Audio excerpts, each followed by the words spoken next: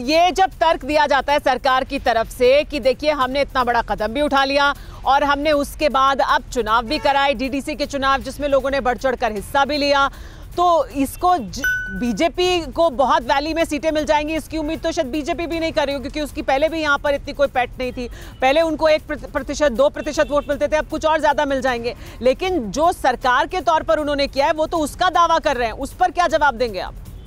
सरकार जब कोई कदम उठाती है तो इलेक्शन में उसके नतीजों से पता चल जाता है कि ये कदम सही था या गलत था। सरकार तो पूरा शोर मचा रही थी पूरी दुनिया के अंदर कि बड़ा भारी कदम उठा लिया है। तो उसके नतीजे तो नहीं आ रहे। आपने तो कश्मीर को तबाह करके रख दिया है। मैं फिर अपनी बात दोहरा रहा हूँ। सरकार को वो करना चाहिए जो उचित समझती है। लेकिन जिन लोगों के लिए कर रही है उनको एतमाद में तो लीजिए। आप ज़बरदस्ती करेंगे बंदूक की गोली पे फैसले प्रदीप सिंह जी की भी रिएक्शन ले लेते हैं इस पर।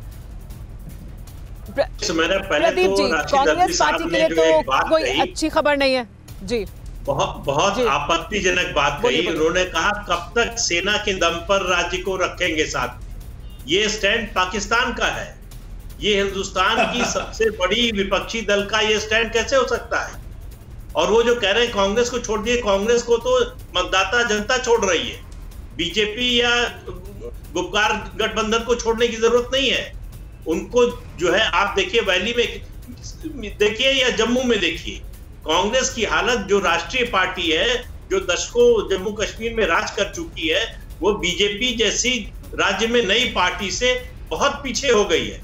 तो ये ये कांग्रेस को इसी तरह के बयानों ने ये उसको उसकी इस हालत उसको इस हालत में पहुँचाया है। देखिए ये पूरा चुनाव जो है इसमें सबसे बड़ा जो पॉजिटिव पॉइंट ये है वो मेरा मानना है जो मैंने पहले कहा लोगों की भागीदारी। जिस तरह से लोग निकलकर वोट देने के लिए आए डर को उन्होंने हरा कर जिस तरह से बैलेट को जिस तरह से डेमोक्रेसी को चुना जी हाँ ठीक है। प्रदीप जी।